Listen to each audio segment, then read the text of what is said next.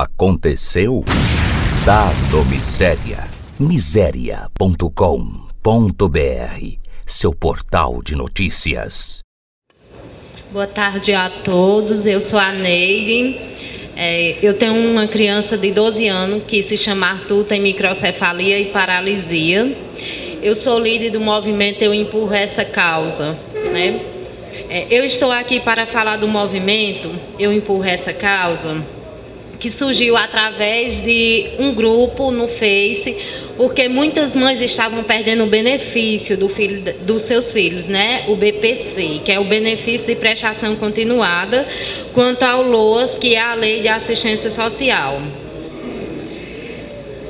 O movimento reivindica a mudança nos critérios da lei para a concessão do BPC LOAS. Hoje, os critérios para o benefício BPC ser concedido à família precisa ter menos ou igual a um quarto do salário mínimo. E uma família humilde que tem uma renda superior de 238 reais por pessoa, infelizmente não consegue o benefício que seja alterado o valor da renda per capita exigida para que seja aprovada o cadastro da pessoa no recebimento do benefício. Dessa forma, mudaria de um quarto para três salários mínimos por família. Por quê? A gente que tem filhos especiais, é, eu até me emociono porque o meu filho ele precisa de leite, acredito que muitas crianças também têm a mesma dificuldade que eu tenho da gente chegar numa secretaria de saúde e a gente só receber o que a gente precisa, se for com ordem judicial, né? Que acredito que o Tasso Magno, ele me conheça porque eu vivi há quase dois anos dentro de uma defensoria para poder receber o leite do meu filho, que se alimenta por sonda.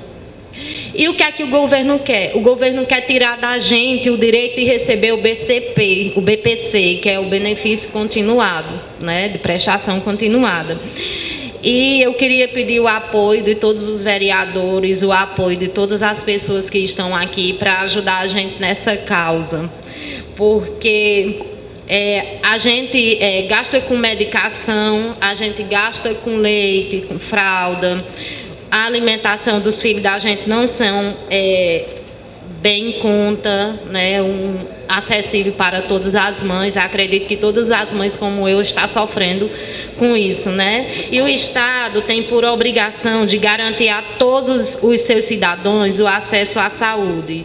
Nem todo o Estado, o SUS, custeia principalmente os gastos extras, como fralda, produtos higiênicos, né? Equipos, sonda, seringa, pró prótese, sem contar os gastos de aluguéis, porque nem todas as mães é, têm uma casa própria e especialmente também as roupas, né? Porque a gente sai para levar os filhos da gente para fisioterapia.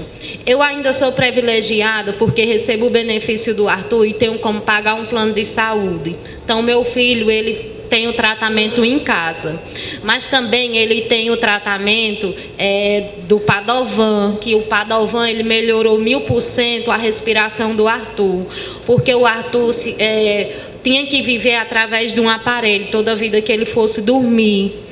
Então, que o Padovan ajudou a tirar ele do, do BIPAP durante o dia, mas à noite a gente ainda não conseguiu, que até lá a gente vai chegar, né? Eu queria pedir a vocês que visse o caso do, do Padovan para todas as crianças na rede pública, porque nem todas as mães podem pagar um plano de saúde, porque os pais abandonam as mães. Quando as mães têm crianças especiais, os pais deixam. Eu sou muito agradecida porque o meu esposo é, vive comigo, mas muitas mães não têm esse direito de viver com o esposo, né? Então, eu queria é, pedir a todos vocês que abraçassem essa causa né, da gente. É, o Gledson Bezerra me deu essa oportunidade, que eu quero agradecer muito. A, Marle, a Marleide Duarte também me ajuda com essa, esse movimento. Eu não faço parte de nenhuma ONG, eu não gosto, né? Eu gosto de ser uma mãe individual, de correr atrás, tudo que o Arthur precisa, eu vou na defensoria pública, eu não saio pedindo as coisas para ele. Também não julgo a, as mães que pedem, né? Mas é, a gente tinha que se dar, é, vocês da Secretaria de Saúde, o prefeito José Arnon, eles tinham que é, ser mais solidários com a gente. Quer dizer que a gente só tem direito de receber alguma coisa da secretaria se for com uma ordem judicial, né? E também a questão do, BC, do BPC, que se vocês pudessem assinar uma baixa assinada que vai ser enviada para o Congresso, eu vou ficar muito agradecida. Que a única pessoa que está lá no Congresso ajudando a gente é o Romário. Então, é, a petição ela está sendo tanto online, online como escrita, que vai ser enviada para o Congresso e a gente tem que juntar mais de 22 mil assinaturas para que o governo não tire o direito dos filhos da gente de receber o BPC, minha gente, porque ajuda muito. Eu não tenho uma casa própria, vivo de aluguel, mas eu tenho um marido que me ajuda e muitas mães não têm esse direito de ter um, um esposo que ajude. E quero agradecer a todos vocês por me dar essa oportunidade de falar, né? E chamar vocês para dia 16 de fevereiro, às 9 horas da manhã, a gente está lá na Praça do Giradouro, as mães com as crianças especiais, a gente está lá, estamos lutando juntas e eu convido vocês para empurrar essa causa junto comigo. Muito obrigada.